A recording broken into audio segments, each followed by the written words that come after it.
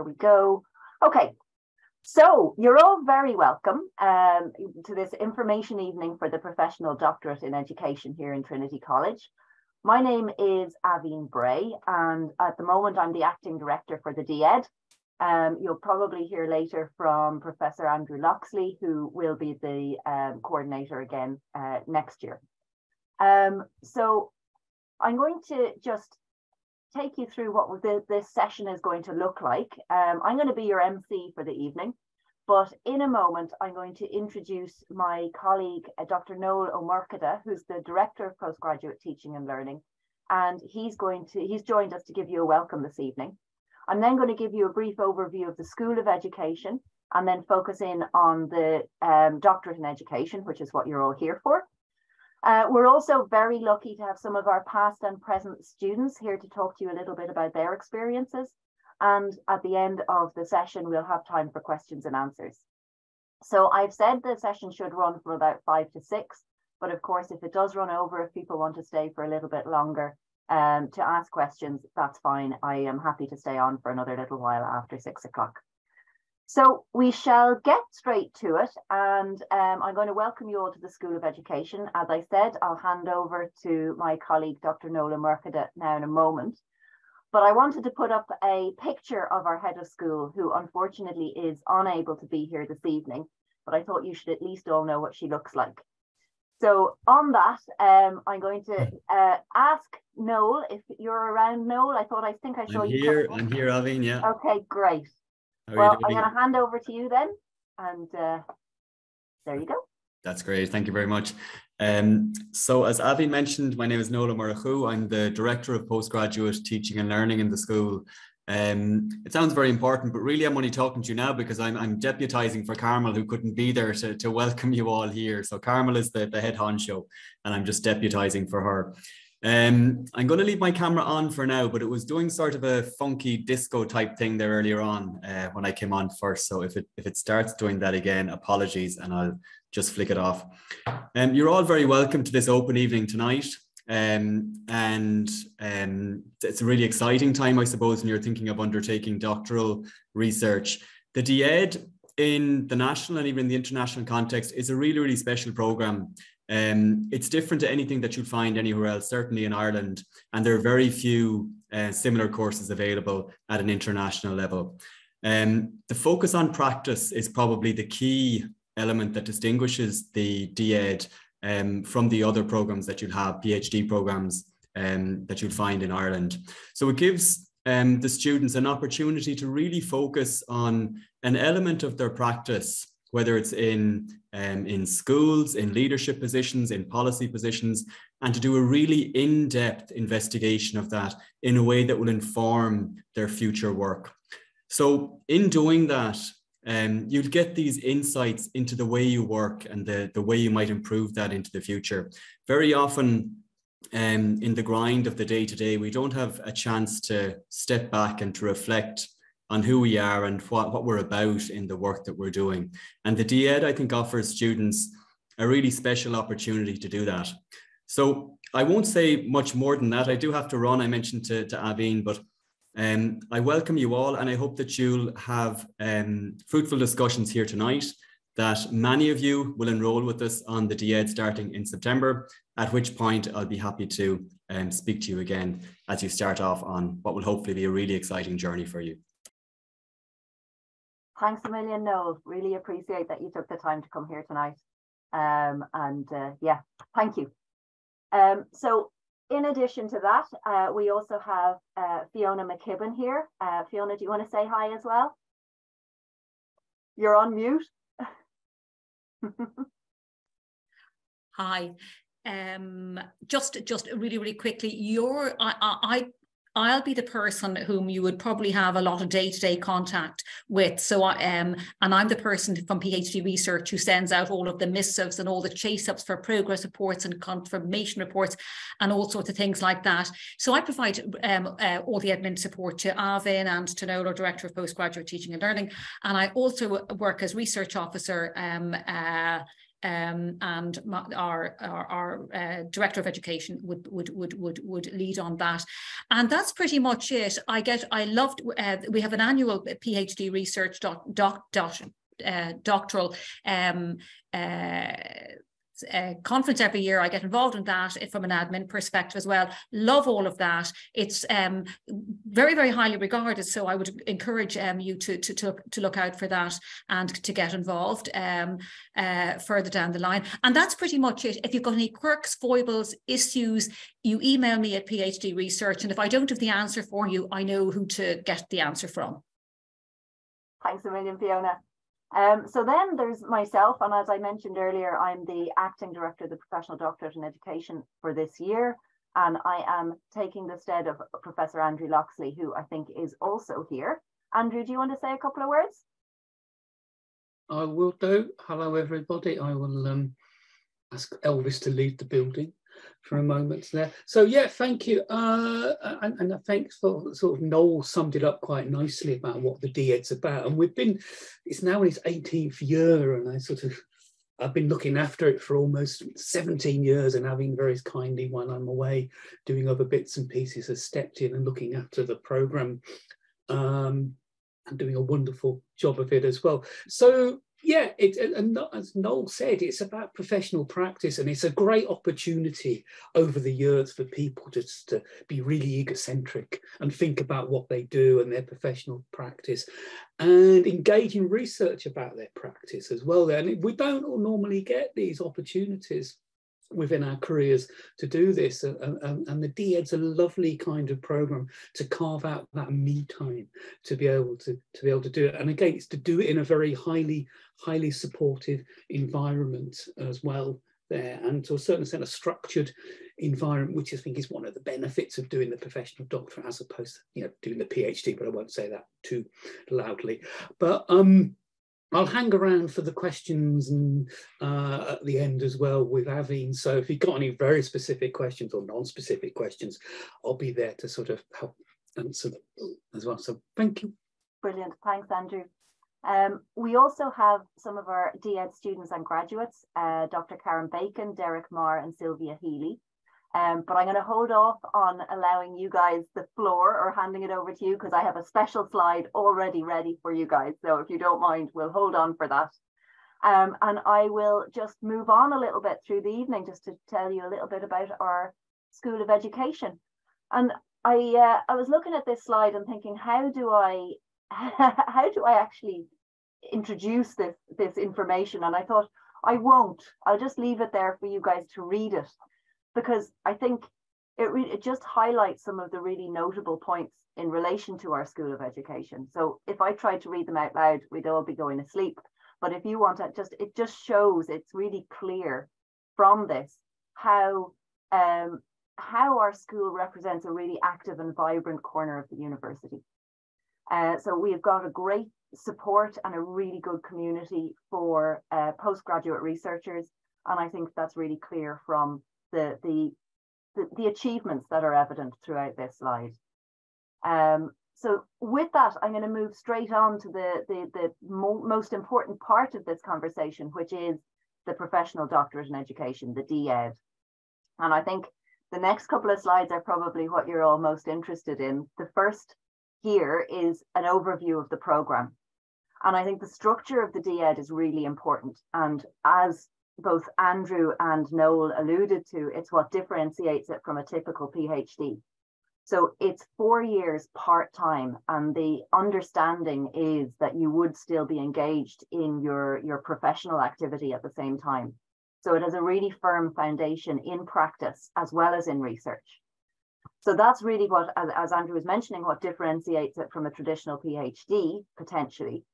But it also, it's four years and part time, the qualification itself is equivalent to a PhD. It is a doctorate. It is a level 10. In terms of how the program works, I'll give you a bit more detail in this in, a, in another couple of slides. But essentially, there are five modules that you complete over the first three years of the um, of the course, and then there is a 60 to 70 word research-based thesis, which is again equivalent standard to the kind of thesis that you'd be expected to produce going through the traditional PhD. I think one of the other things that differentiates this from the traditional PhD is that you're actually in a cohort who go through together. So you have that sense of community of people being in the same boat and of being able to sort of contact each other and uh, talk about the problems and the, the difficulties that you're having, the issues you're experiencing, and understand that it's not unusual that you're all in the same kind of boat. Um, so really, I think the, the this structure works really well, given that it is a part-time and practitioner-focused uh, course. And uh, so it's, it's just a really lovely structure and really supportive. The School of Education then, in terms of the, the sort of visions and missions, and I am going to read these off because there's no way I'd remember these, uh, it's to enable students to question, challenge, and transform personal and professional knowledge in a deep and meaningful way that has a direct impact on thought and practice. So that's the first one. To develop a strong sense of belonging to a cohort of mutually supported professional inquirers and critical thinkers that will provide a social, professional, and academic bond that assists each student in their persistence and to engage in innovative and critical and creative pedagogical practice within the programme, and in particular to explore different and imaginative ways of assessing learning and progress through the programme. And I think, again, that idea of the creative, imaginative, and different ways that this course is assessed in comparison to a traditional uh, approach to purely uh, creating a dissertation is again one of the, the found, foundational things that differentiates it. Um, so that's sort of giving you a bit more of the, the, the vision and mission kind of idea, the values that underpin this particular course. But then if we go to the actual structure of the DED, you can see that there are three kind of components. There are the modules themselves. These are taught modules. There's the supervision, which underpins the whole thing. And then there's your own research, which is what comes out at the end. So in terms of the supervision, I love this idea of um, a relationship based on collegiality, but that is what it is. And I think it is, so there, there's that relationship with your supervisor is really very important.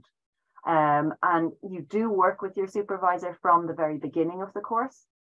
So it's important to, to make sure that you have a good fit, that you actually have spoken with somebody who's prepared to take you on, and they are able to then guide and support the development of your thesis. So the main focus of the supervisor is working with you on the thesis, not specifically on the modules. The modules themselves, there, there are five modules and they're over three years. And they're really, and I think this is important, they're designed to support, but to intellectually challenge the students. And really, the beauty of this is the exposure to such a wide variety of approaches and methodologies and different um, ways of presenting and communicating your, your understanding and your knowledge. Um, they really are, uh, they're, they're, they are challenging, but they're challenging in a really good and creative way. And the fact that it is so supported, supportive is um, just a really nice approach to doing a doctorate. And then there's your own research, and that is what the crux of this all is. So you're, you're your doctors will be based on your own thesis. Your own piece of research is what you will actually be um, essentially graded on. That's the bit at the end that sums it all up. Um, and this is something that you need to contribute to. It's a contribution to knowledge, but also because of the focus of the DED to professional practice. So going in a little bit more depth into the structure of the DED, and looking at the, the various components over each of those four years. In, if we take the modules, first of all, um, in the first year and the second year, there are two modules, each of which will have an assignment that you'll need to produce an, assess, an assignment for. And then in year three, there's the final um, module, again, which will have an assessment uh, allocated to it in terms of the thesis, you'll begin your work on the thesis in that first year, working with your supervisor, looking at your particular area of interest, exploring the literature, and beginning to develop your research design and research questions. In the second year, that's going to continue, um, but with a particular focus towards uh, thinking about the field work. So what kind of data are you going to generate or collect and so on. And in that second year, you'll then begin to put that research design into place. Third year again is finishing off the empirical work. And then in your fourth year, year you'll be supported in completing the write-up of your thesis and your viva, which is that, that final um, sort of examination at the end the milestones again are broken up according to years. So obviously in the first year, you've got those two assignments. In the second year, you also have two assignments and a confirmation meeting. And at that confirmation meeting, that's sort of a, a midway point to assess how you're getting on with somebody who is not your supervisor. So it's a really helpful um, process. Uh, I've spoken to some people who said it shouldn't be a confirmation meeting, it should be an affirmation meeting so it's all about supporting you in your development through the process. And then at the end of year three, you have a research presentation at the end of semester two. That's just sort of sharing your research so far. In addition to those, you're just some notes that you would expect to have your literature review about 50% completed and your research design 50% completed at the end of year one. Literature review 90% complete at the end of year two, and your research design should be finished at that stage. They are just their guidelines, sort of to give you some idea of what you should be aiming for. It's not prescriptive. Um, it's not that this is what you have to do. It's just a suggestion. Um, in year three and year four, there will be workshops on writing up your thesis and um, then also Viva workshops and so on. And that really is, that gives a broad outline of what your experience will be as you go through those four years of the um, doctorate. So I'm going to move on now to the requirements, which you possibly are all familiar with if you've already received any communication from Fiona or myself. Uh, one of the things that you do need is an appropriate master's level qualification or equivalent. So just notice that there is an or equivalent. So if you don't have a master's, but you have um, a higher diploma and experience, come to us anyway, and we'll see if there if that is acceptable. So it's not that you're ruled out without a master's, but uh, something that would have to be a, an equivalent level. You need to have a minimum of three years experience in an educational or related context. And then in terms of your entry process, you'll need to submit an approve a, a, a, submit a submission. You'll need to submit a research proposal, and this doesn't have to be what you are actually going to end up doing. But what you want it to, to show is that you have the potential to work at doctorate level. So you want to have some foundation in literature and you want to have some kind of critical analysis of, of the area that you'd be considering working in. Uh, at that, after that, there'll be an interview with the course director and potentially a supervisor to discuss and evaluate the proposal. Um, and then the, all of the applications are reviewed by the uh, doctoral applications committee. So that's the sort of process and that's what you, you need to produce in order to put in an application.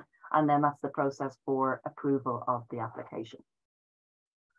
And now you've heard enough from me, so I am going to hand you over to some of our students and graduates, and we're going to start by welcoming Dr. Karin Bacon, who is a lecturer in social, environmental and scientific education at the Marino Institute of Education.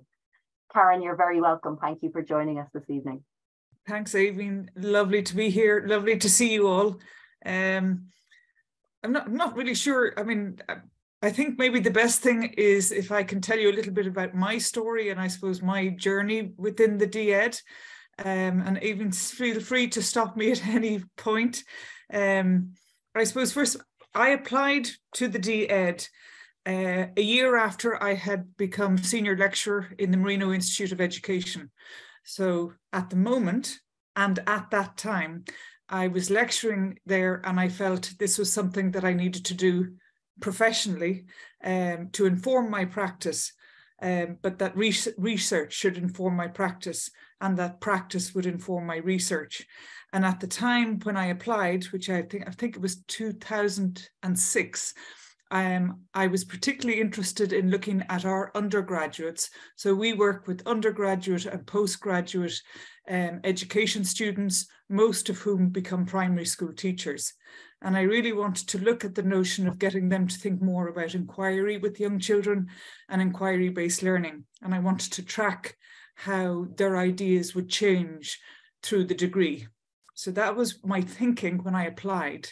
Um, moving on maybe a year, I was approached to set up an international baccalaureate primary school in Dublin, the only and the first international baccalaureate primary school. And I felt this was an opportunity I couldn't turn down. Um, so I took up that opportunity and then started looking at how I might change my proposal or change the direction of my research. And for me, that was one of the things uh, that was great that I was able to do that. So rather than focusing on inquiry with undergraduate teachers, I focused on a community of inquiry, and the community of inquiry became the International School of Dublin. So uh, my research was extended out to looking at the children's ideas and uh, inquiry, talking to the parents, and just looking at how the school, a small school, operated as a community of inquiry. Um, and I also then changed. I had been looking at the work of Bakhtin initially, and I thought that was kind of appropriate with working with undergraduate teachers. And then I shifted to C.S. Peirce. And there you'll see the title there. Um, and it was his notion of semiotics, first of all. So, how we use signs, symbols, and icons to share our understanding. Um, and his notion, he was, in my mind, he was the person who really coined the idea of a community of inquiry. Um, and the third part was his role of argumentation. Um, and I kind of did a, I suppose, a deep case study. So I was looking at kind of that thick, rich description of what it looked like in this particular context.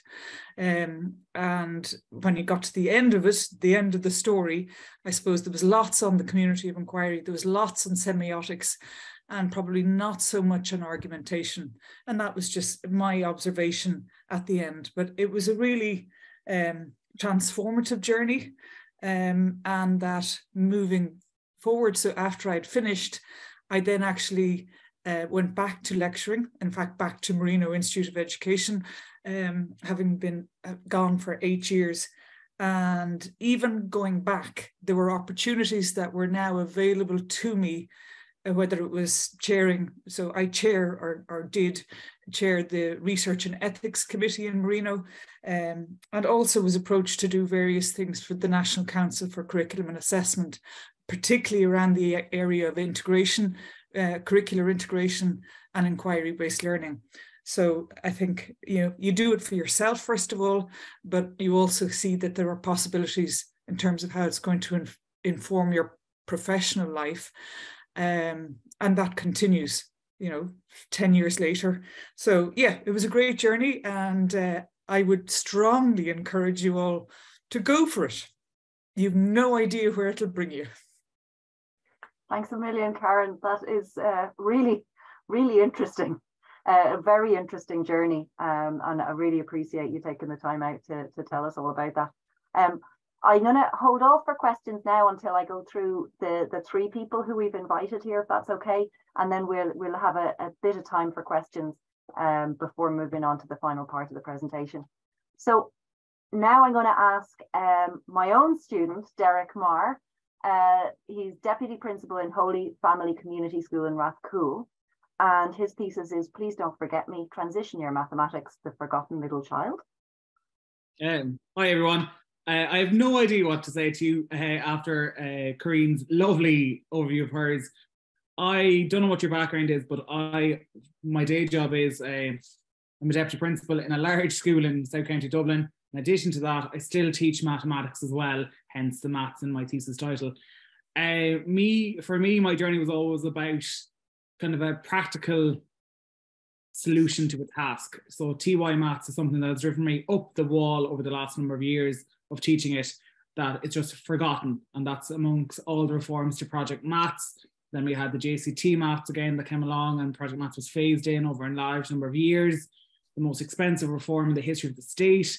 And however, this lovely middle year for about 45 to 60,000 students was just not touched at all since 1994. So that's how I got kind of started into my thesis title. I did have a master's completed a couple of years beforehand in Trinity on a different area. It was mathematically based as well, but slightly different. So I kind of progressed on from there. Now I am blessed to have Aibhín, and although she's going to be very, very modest, uh, I, am blessed to have a fantastic supervisor. Uh, I'm in a group of, I think there's about nine or 10 of us in year four at the minute. Um, we have got slightly smaller as life gets in the way because uh, it is quite a journey over uh, a number of years. But um, as Aibhín said at the start, that group has kept me going, and I think it's kept every one of us going uh, over the last number of years. Unfortunately for us, we just started in the summer of 2019. Little did we know that COVID was going to hit a couple of months later and how our life was going to become online. So I think our group is quite special in a way that we were all kind of chucked in from being face-to-face lectures to everything online. Um, but thankfully that's kind of now reduced greatly. Um, apart from the the academic side of it as well, it is fascinating to hear other people's point of views our group is quite diverse. We've got people who have worked in nursing, engineering, lecturing in third level, post primary practicing teachers, school management, um, also people working at third level in different areas as well. So we are quite a diverse group of what of where we come from and how we got there. Uh, I loved the fact that because I toyed with the idea: do I do the PhD route or do I go for the DEd route, or you know what would be the most suitable thing for me? Um, and I think as teachers or educators that we love that group cohesion, kind of the safety in numbers approach. Um, as a result of that, I'm thrilled I went for the DEd and not the PhD. Um, so that's my thesis title there, as I said. So I'm looking at what it means to be mathematically prepared, essentially, and how we can utilize TY mathematics to prepare students for leaving cert and indeed for life afterwards, hopefully. Um, I'm at the stage at the minute where I'm writing up, and Aibhín is very sick to her teeth of correcting multiple drafts of my work. Uh, once a maths teacher, always a maths teacher. Let me tell you, English is not my forte.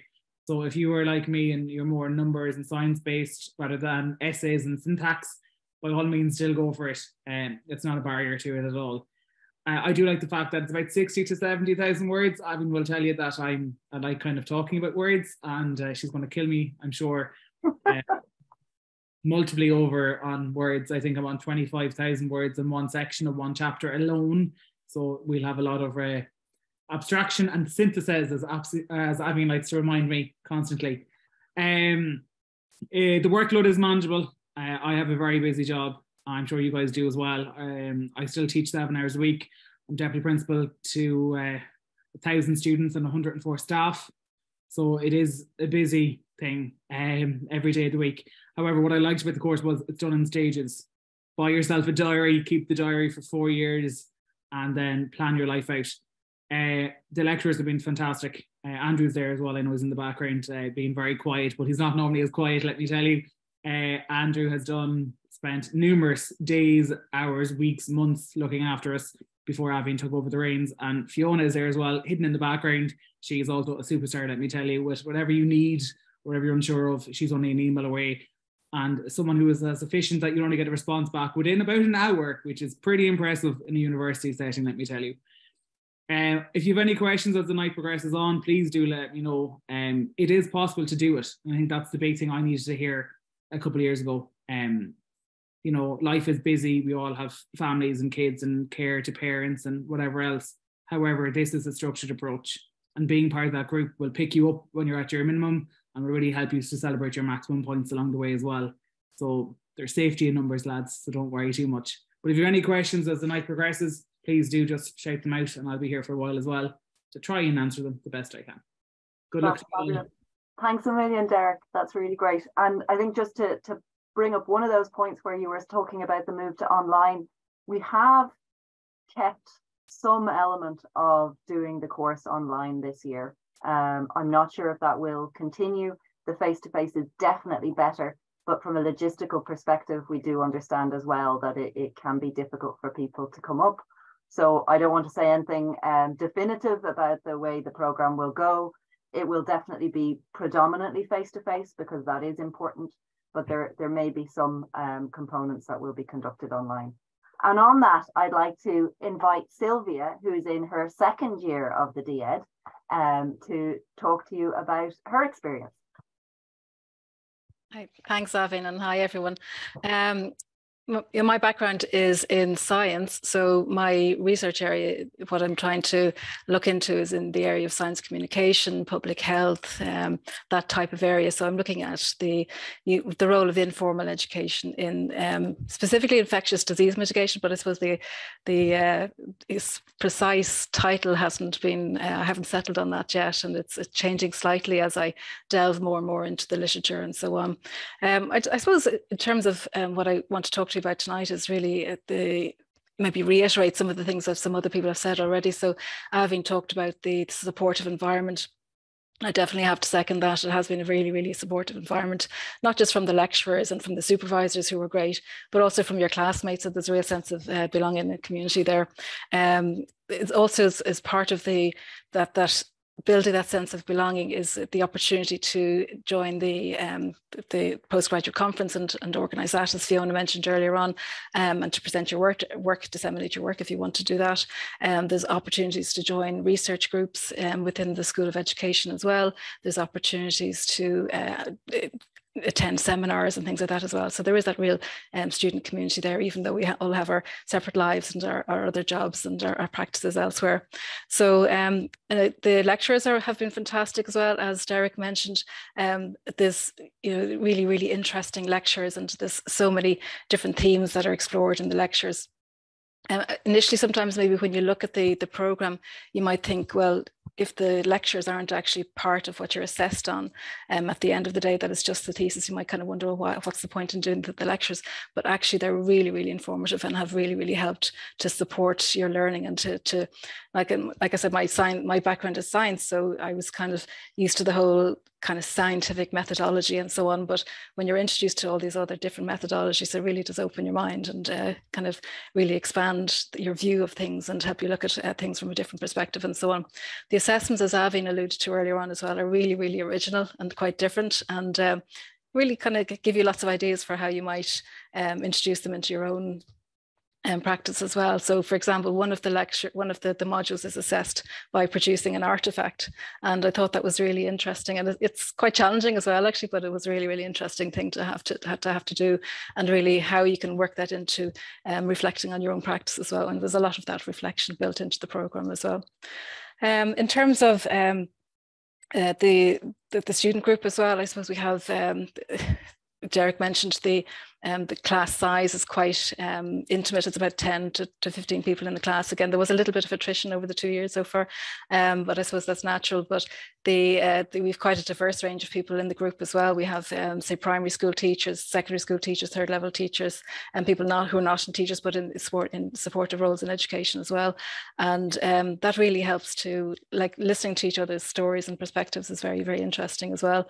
Um, and that blended aspect of the lectures that I've alluded to there as well is very useful. So we have people who commute from different countries to, to the program um, and having that blend of online uh, lectures, but also plenty of them on campus as well is great because when you're on campus, you get to know the other people in your class, and um, we develop that community, and that that it's great to bounce ideas off each other. And we have a WhatsApp group that's very active, especially coming up to lectures and, and deadlines and so on.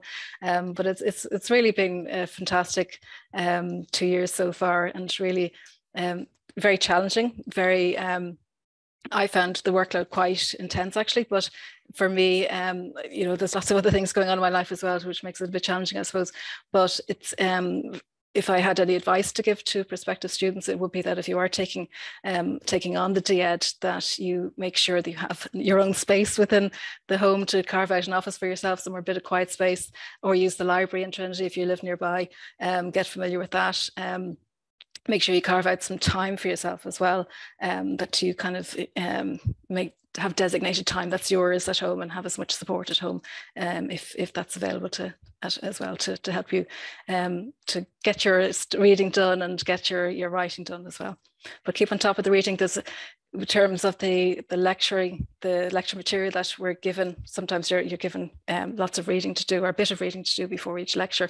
And um, some of the the reading is heavy going, but it's really, really worthwhile doing. It's really, really good, very well curated lecturing or reading list that, that has been provided to students and really informative stuff that, that we've um, been asked to read and really helps kind of understand your methodology and the different approaches that you could um, use for your research and uh, and your practice as well. So I think I'll finish on that point, but it's well well worth doing, very well worth doing. And Aibhín, I'm delighted to hear you say that it's, it's called an affirmation and not a confirmation, because yeah, otherwise it could be quite terrifying. Sense, I like that I affirmation. Yeah. It, definitely. Yeah. yeah.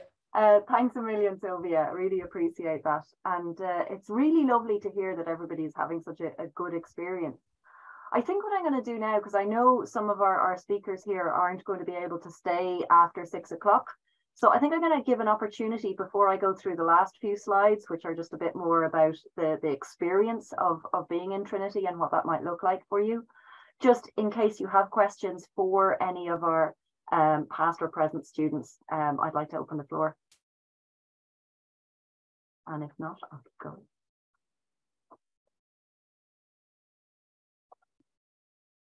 Guys, you must have just covered everything so comprehensively that there are no questions. oh no, we have a question from Jonathan. Sorry, I'll put my camera on there. Um, you mentioned about supervision and the importance of uh, getting a supervisor and a supervisor that fits. And I just wondered, um, how do you go about that and how did people go about that? Did they um, was this something they did after their application, or was it something they did before their application went in? Um, well, I can I can just give a, a, quick overview of that. Usually, you would try to make contact with a supervisor beforehand in order to make sure that they had capacity to take on a student, because in order to have that good relationship and collegiality, you have to have a supervisor who is capable of giving you the time um, but I might ask the, uh, the, the speakers there if they can give their own experiences of how they found supervisors. Yeah, I suppose I probably did it most recently. So, um, what I was advised to do at the time was to go onto the Trinity website and School of Education um, section of that, and to look up all the lecturers' profiles within the School of Education, see what their area of um, research is and their area of um, interest and expertise is, and literally just find one that might align with your type of area, the area of your research. Um, my particular supervisor is Joseph Roche, who his interest lies in scientific communication. So we aligned kind of um, well in that respect. So I contacted him. He had capacity, and uh, now he's my supervisor. So. Yeah, I'm blessed with mine. To be honest, I'll only say good things because Aibhín's here. But uh, mine, I had a different experience at the start. I actually didn't have a supervisor, and I'll tell you why. Because the School of Education at the time was in a kind of a, a crossroads of uh, maths education personnel. So Aibhín and me technically kind of started at the same time. So I was a couple of weeks later than some of the other people in my class starting. Uh, but the way it was worth it because I got uh, an excellent uh, slash modest supervisor. Stop. To help me but I think it, the, from talking to my my own colleagues or my, or my own classmates, the supervisor slash there has to be a fit, and you have to be on the same wavelength as the person, especially if you're going to have umpteen conversations over the next four years of your life with this person. You want to make sure that you get on, you have similar views, similar connections, and you're also passionate about the same thing. And I think if you don't have that, I think that's a big question to kind of really determine is it for you or is it not? And that's just my personal answer. Karin, what was your experience? Yeah, absolutely. Even I would add to that. In, in my case, and I, yes, an omission on my part, not to credited Philip Matthews, um, who was my supervisor, and and literally, I think the day of my viva, Philip Matthews left the building. So, so he saw me out, or I saw him out but I suppose I slightly different because I, from what you've said, I think the whole um, system has been more streamlined, which I think is very welcome. Um, when I applied in 2006, I did talk to Philip Matthews because he had supervised my master's, my MEd thesis, um, which was looking at children's scientific ideas. Um, so when I then, years later, uh, started thinking about doing the DEd, he was obviously going to be somebody who I went and I talked to. And while I was more now moving down an inquiry route, um, which wouldn't necessarily have been his expertise, that I think he was happy to take it on. And yeah, our relationship continued. And uh, yeah, great supervision. I just had to recognize that I needed to produce the work before we could sit down and talk about it. and that was a good exercise for me. But yeah, I think an interesting that relationship is absolutely critical. Thanks, Karin. Andrew. Yeah, I was just going to say to just to echo that when we set the program up, it seems like a long time ago now, and Karin was on our one of our first. That whole uh, underpinning uh, philosophy that the student and the supervisor needed to be in, in a similar sort of subjects space, so to speak, was absolutely incredibly important. Other programs, and again, not disparaging other programs, would wouldn't take that time and trouble or take that particular view and you might go and do a professional doctorate and they'll just give you anyone who happens to be around but we do take an awful lot of time and trouble for this matching and again some of the issues around the reason why we don't take certain students is not because they're not, uh, uh, you know, don't hit the criteria for, for, for, entry. It's because we don't have a supervisor for them. Their subject area might be outside of our expertise, or there might not be capacity uh, to take people on as well. So hence the reason why it tends to be a very small program as well there. So it also tends to be quite competitive as well in terms of uh, but it's also that whole business of matching students to supervisors incredibly important. And again, it, it's incredibly important in terms of successful completion as well. There we find that that relationship that's built right from the start, and as Derek was saying, is incredibly supportive in moving you through the program as well. There. And the other thing I think that Derek brought up, and again, having you know run the thing for such a long time, is the cohortness of it. It was never, you know, designed. It was not wasn't built in to the program. But there is this strong sense of community that develops within the cohorts. And we, you know, you know myself and Avi, we don't necessarily legislate for that. It tends to happen organically within within the group as well. And it's wonderful to see just how supportive in all sorts of different ways uh, students are towards each other. They build friendships and they last for a long time as well there. And again, there are still people who are, you know, came in in 2005 they're still friends they're still connected and they still still make contact. And that's a very again a very strong part of the program as well which i think we're very proud of. But it's one of these things that never really get gets put into the more formal sphere. So sorry back to you avi oh that's brilliant. Uh, thanks andrew. I think that really that was an excellent question and i hope it's been very well answered at this stage. Does anybody have another question for any of our speakers I mean, I forgot to mention as well about funding because I think that can put off a lot of people. People don't like talk about money because we're Irish. Um, however, there is lots of funding opportunities available, and it's something that I didn't realize at the start, but as time went on, I really did.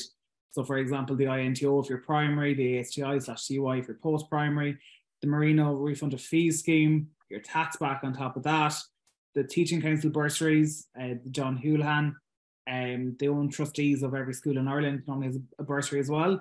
So just be mindful of that because um, it's something I would have loved to known before paying a lot of money over the last number of years. Um, so yeah, there's lots of different places available. We might, Derek, ask you to to put some of those up on our website, or at least to to put put them in an email to me anyway, so that we can make people aware. Because I'm not aware of most of those. I will. Carol, um, I see your hand up there. Sorry, yeah, thanks. I just popped my uh, question into the chat. Um, I'm just going to stick to the, the second one first, which is about the tax relief. In, in the revenues list um, of courses that they will give you tax relief for, DED is not actually mentioned. And I just wonder, is that an oversight? Um, uh, or whether that could be rectified because PhDs and MSCs, but the DED is not there um, in this year's list. Um, so that's just something to, to, to maybe raise. And uh, the other question was about how the core modules are assessed. Um, well, I think that's uh, one of the things that was alluded to by, by Sylvia earlier is that they're assessed in a variety of different ways. So um, one of them is assessed by the creation of an artifact, for example. And there's another um, a, a set of lectures that I'm giving at the moment, and the assessment for that will be by presentation and only a very small written piece. Uh, so there, the focus is on really diversifying the type of assessment to, to generate more innovative um, thinking as well around the topics. So it's not always essay based, no.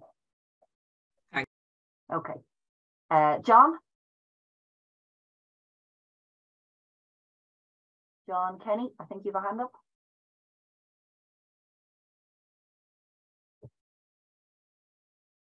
Okay, um, John, I don't think you're on mute, but for some reason I can't hear you if you're if you are asking a question. Uh, what I might do if there aren't any other questions is I will move on and uh, we will of course have time for questions at the end as well. Uh, but I'd like to say thank you again to our speakers. Um, I think it's it's really important to have the voices of the people who are actually going through the program um, to, to give depth to what I'm saying. Um, so the next thing is working with your supervisor. And I think we've actually really covered a lot of this already. Um, one of the things is to uh, contact us before you begin your application process in order to make contact with a supervisor. Um, you're welcome to contact myself or um, Fiona. Um, I'll give you those details later on. Or as is advised, as was advised earlier, go to the um, website and look at the people. I think Fiona's already put that in the chat, the link to the people page um, on the School of Education website. So you get a supervisor who then supports and guides you through the process. They're generally active researchers already, and they are, as has really been uh, identified, it is essential to have a good supervisor and a good relationship in order to get through the process. Um, generally speaking, your supervisor will have gone through, if not the DED, a PhD mostly, um, so they know what it's like. There is an understanding there of what the process is like, and you are then expected to meet on a regular basis, and as Karin mentioned, to produce work in order to be able to have something to discuss.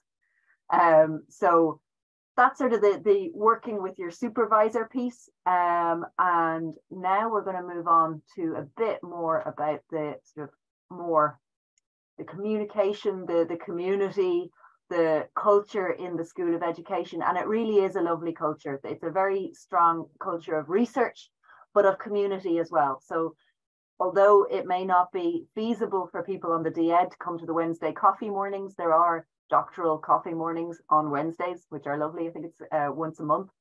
Um, how, and there are the, there's the School of Education seminar series where different people, different researchers within the school give um, seminars uh, again on a monthly basis. The postgraduate re research conference is a really big one, and that's an annual conference. And I think both Derek and Sylvia were involved with that uh, last year quite heavily. Uh, and it's just, it's a really exciting and vibrant day. Um, different people are coming in. There are people who are helping early career researchers.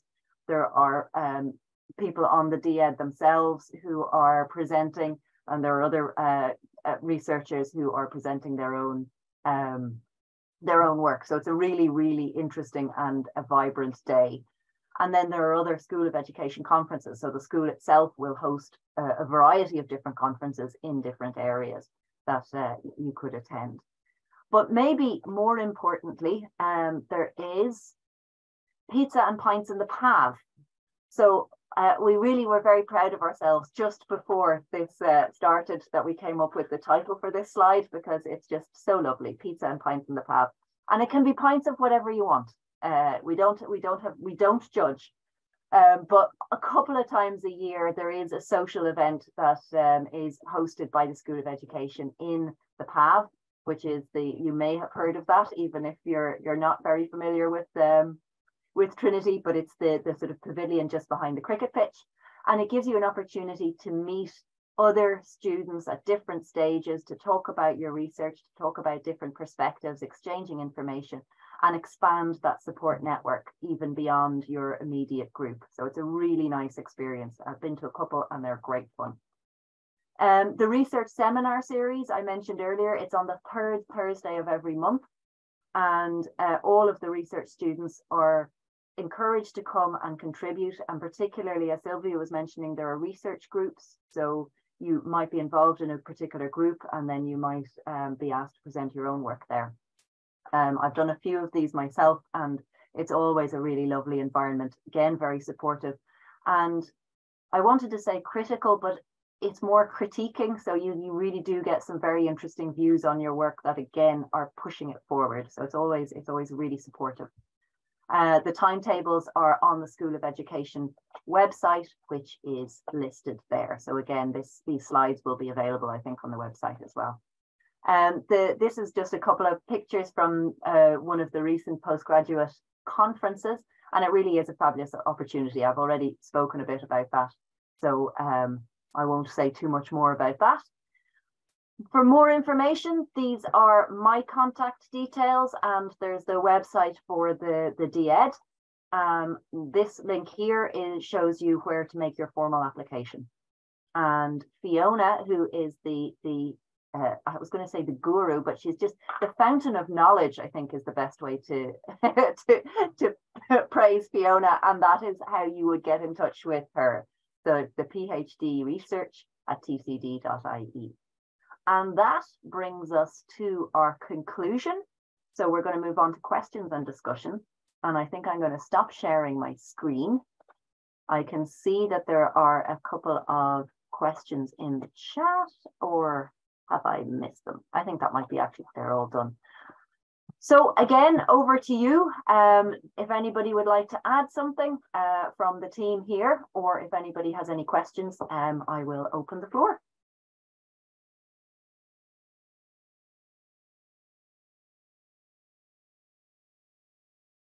Carol. Sorry, yeah, me again. I was just wondering, when you start the application process, um, I presume you can stop and start it. You don't have to log on, make yourself, uh, you know, can you can you go part of the way through the process and then save it? I, I think you can. I'm yeah. fairly sure you can because I have seen um, applications that are in progress, but maybe if I'm wrong, Fiona, I'm sure will jump in and correct me. But my yes. understanding is that you can, yeah. okay. oh, that's right. You can do that. Perfect.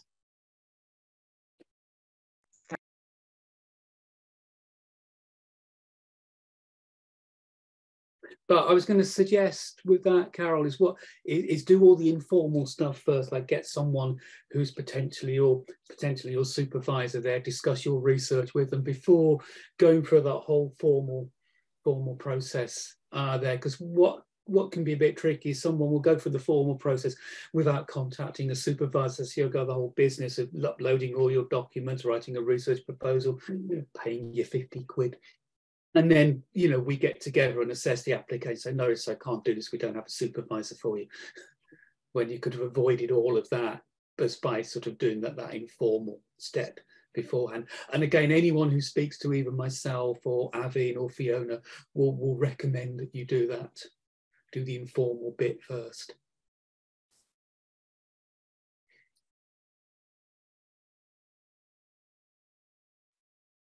Abby? Yeah, I was just going to say, if there are any other questions, or uh, I see there's Jonathan. Jonathan, do you want to unmute there? Yeah, me again. Um, I'm sure you may have said this, or or maybe it's on the information there, but just um, in terms of deadlines, could you just outline the deadlines for applications, and um, do we need to have that in by? That is a very good question. And actually, I'm not 100% sure. I should have had that on the slide. So, no, you haven't missed it. Fiona, do you know the deadline? Yeah, really. I know last time round it was end of July. It was really up to the yeah, uh, just, just to, to, facilitate last minute applications. But um, end of July, so they normally push it out to, to, to, uh, to around about then, just to. That's great. Uh, really for research a lot of flexibility, doesn't it? So Super. I feel I should have some elevator music for while I'm waiting for yeah. uh, people to ask questions. Do we have any other questions then, or shall we wrap it up? Okay, well, how about I'm going to stay here anyway, so we'll we'll bring this to a formal end. But if anybody does want to stay on and ask a question afterwards, um, I'll be here for the next few minutes. Again, I'll, I'll hang around as well. Okay, great. That's good because you'd be better able to answer questions. well. Uh, but again, I'd like to really extend my my thanks. I'm very grateful to those mm. who have come along to, to share your own experiences with us this evening. Um, it was really lovely for me to hear them, uh, and I'm sure it's the same from for Andrew and Fiona, and to all of the rest of you for taking the time to come and uh, listen in. So thank you very much, and hopefully we will be seeing at least some of you soon. Thank you.